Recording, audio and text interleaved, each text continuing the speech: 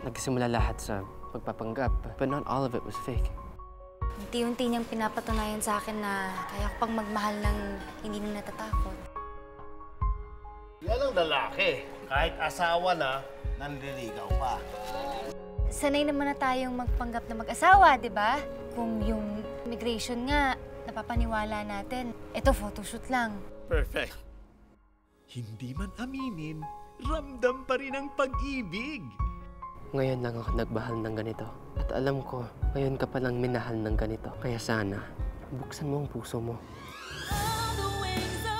On the Wings of Love, after Pangako Sa'yo.